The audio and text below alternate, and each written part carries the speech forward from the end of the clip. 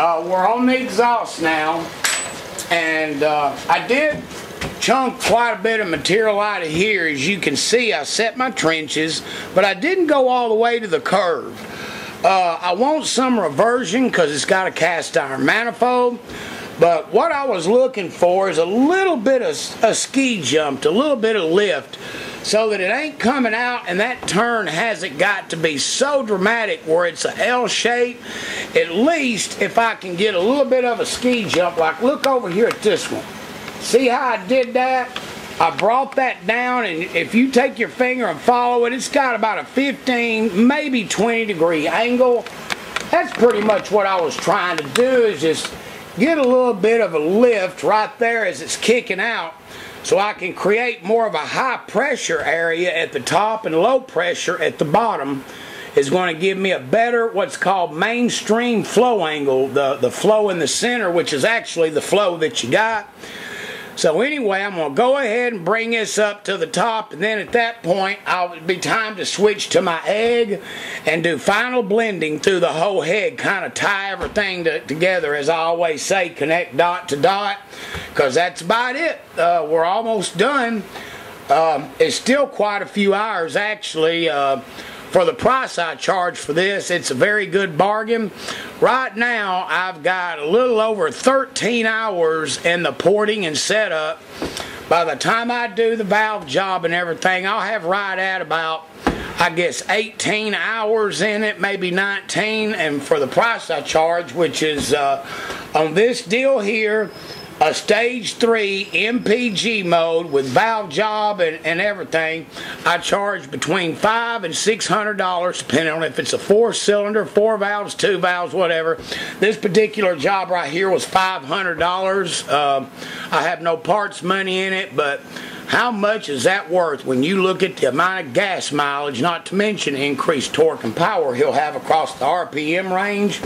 Way better than putting it. Now I'm going for the blending part. All raw materials removed on the exhaust. But remember, I moved this side over right here. Well, now I got to take a small egg and blend the trenches and pull it in and then shift to the pointed one. So I'm going to form the final shape, get a good blend, do, do both of them and uh, and and do the exhaust. And then I can use the finger and come in and finesse it, finish it up. Then that point right there, I'll do the valve job. But basically, I'm just leveling because the big cutters leave big marks with their blades that forms little baby trenches, and this right here is going to smooth it and get it blended out really good.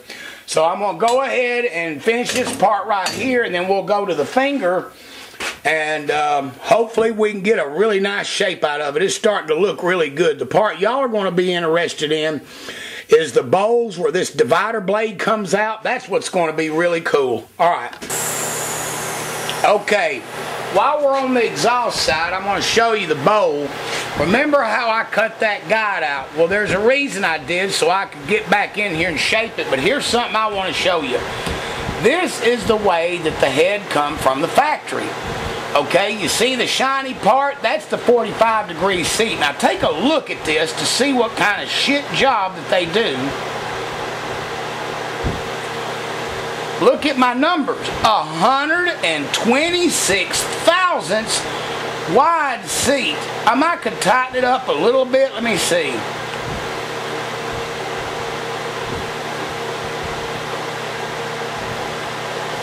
I've got it to 110 thousandths. That is double the width that that seat needs to be. The face of the valve on the exhaust, this, this just shows you. Here's the old exhaust valve, one that was toast. Look at that. It, the face and the head is wider than the dab blame face on the valve. And that's just garbage. The valve job is crap Ola. Not to mention that the valve would barely stick in the guide. It was real tight. Wait a minute. See, I can barely fit it. And I have chamfered them, by the way. See, look at that. So all these guides have to be hand honed to fit the valves that's going to go in it. Look at that. Okay? Next thing, the valve job's going to have to be redone because they got them seats wider than a four-lane highway in Los Angeles. So this is all bad. The guides are bad, the valve job's bad. So I'm going to go in there, redo the three angle after the guides are hand honed to make this thing what it's supposed to be, or else carbon will build up within three or four thousand miles. This thing's going to have a problem sealing because it's going to be so wide that carbon will lay in between the face of the valve and the seat on the head. So I wanted to show you that and let you know that when you buy these uh, mass-produced cylinder heads or replacement heads, all you're getting is a casting. The guides have to be done. The valve job has to be done. All this stuff has got to be redone because if you don't, the thing ain't going to last. It's just poor quality of workmanship. I believe these probably come from China as well. But take a look at the bowls. Now I'm going to try to zoom in so you can see what I'm about to do. And what I'm going to do is where that guide was there, you see that big empty void in the cut? Now I can reach in here. And I'm not removing a lot of material, I'm just shaping it.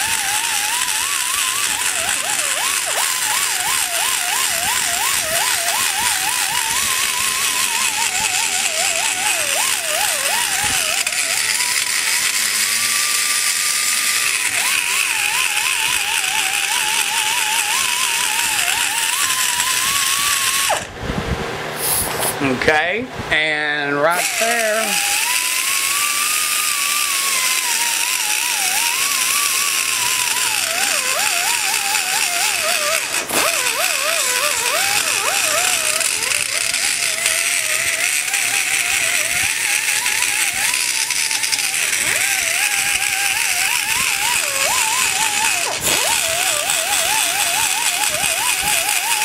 You cannot believe that little bit of work, now that the guide's gone and I can get behind there and shape that bowl, how many cubic feet per minute of air that this thing's going to pass now that I was able to get that out of the way on the exhaust.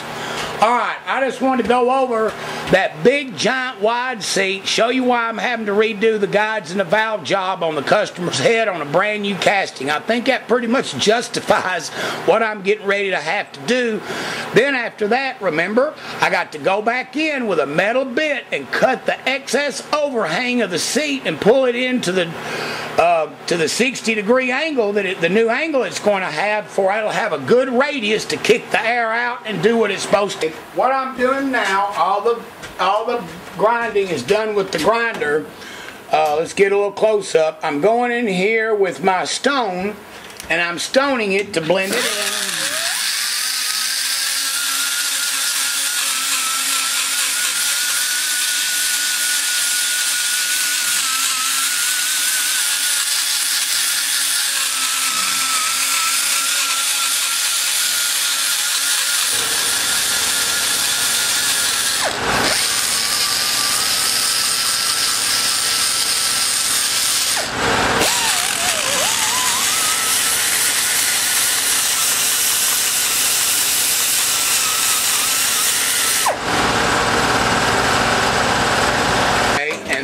Way, it saves me a tremendous amount of time on Santa Rosa.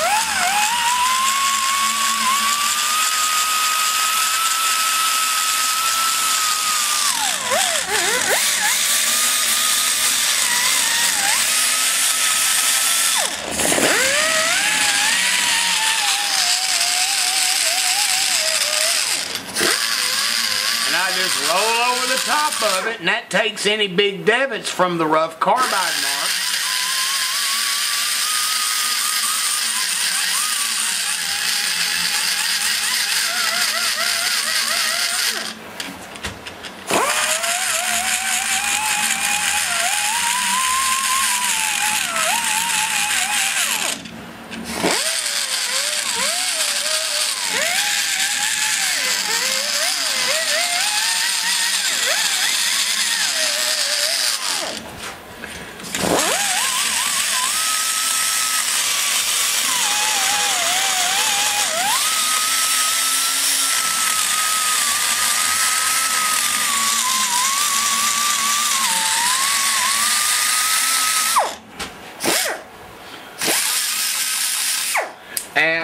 That's what I do. I'll they'll be stoned, and then I'll go back in there. I'm not going to go too crazy on the polish. Maybe a, a 60 grit just to get it smooth. But that's my step. I stone them and then polish them. Then once all that's done, then I do the valve job. That's the last thing I'm going to do on this deal, and then the final blend cut. Now I didn't think about this, but guess what I got over here, ladies and gentlemen? I've got the stock head that came off of the car right here. So we're going to be able to do some really good visual comparisons. I know it'll be a little dirty, but we'll be able to go in there with the snap gauges and do some comparisons before and after, you know, and just measure and, and see what we got. I could actually probably go in there and do a uh, CC of the intake port before and aft after the exhaust port if I could wire brush it and get it clean enough and get it to hold a seat.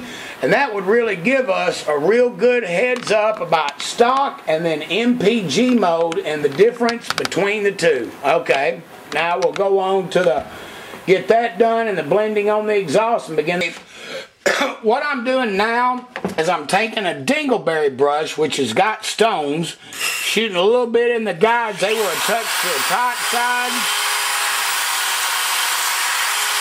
Now make a few passes. Now this don't remove much material. It'll take any edges out or anything like that and make it a smooth clearance.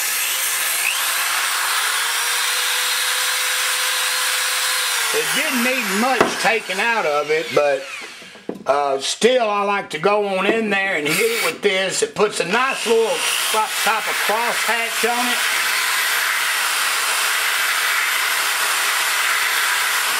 It gives it a real good finish on the inside. It makes good for compatibility with the oil.